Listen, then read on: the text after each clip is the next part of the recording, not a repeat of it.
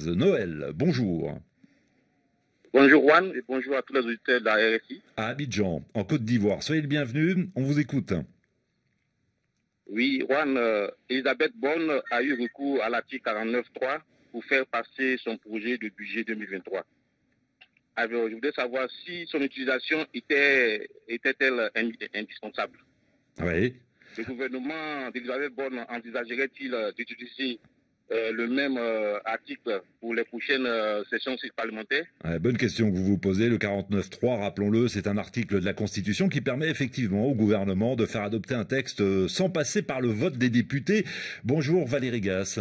Bonjour Juan, bonjour Noël. Merci d'être avec nous. Vous êtes la chef du service politique de RFI. Elisabeth Borne a donc activé le 49.3 à deux reprises la semaine dernière. Était-ce inévitable?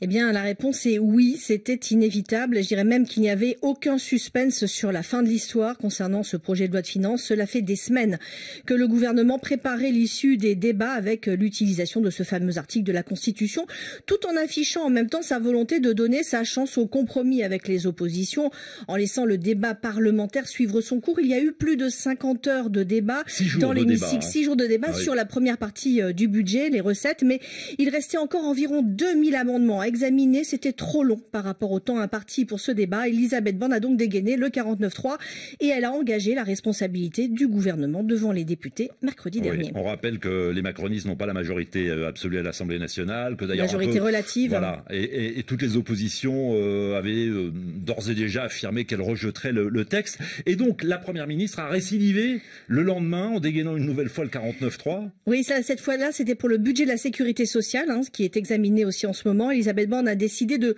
couper court, hein, là, comme vous le disiez, très vite, dès le début de l'examen du texte, contrairement à ce qu'elle avait fait euh, la semaine, euh, les, jours précédents pour le budget. Laisser le gouvernement s'exposer encore une fois euh, pendant des jours et des jours à des débats houleux, au vote d'amendements de l'opposition, prendre le risque même de voir des désaccords surgir au sein de la majorité, eh bien ça devenait trop coûteux politiquement. La première ministre a dit stop. Et ce n'est qu'un début hein, pour répondre à, l'autre partie de la, de la question de Noël. Ça va se finir comme ça à toutes les étapes du texte, de l'examen du texte budgétaire, car le gouvernement, on le disait, Rouen n'a qu'une majorité relative, et puis aucun parti euh, d'opposition ne veut jouer le jeu, hmm. pas même les, les LR, hein, qui refusent d'apporter leur soutien au gouvernement. Il y a donc des postures politiques qui s'opposent.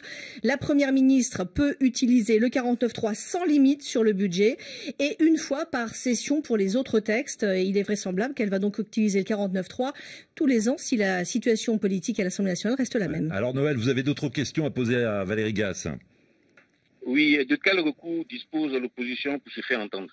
Alors, le recours, le seul, euh, c'est la motion La motion de censure La motion de censure, exactement. Hein, qui dit 49.3 dit possibilité pour les groupes d'opposition de déposer une motion de censure pour essayer de faire tomber le, gouvernement. Il faut qu'elle soit signée par 58 députés.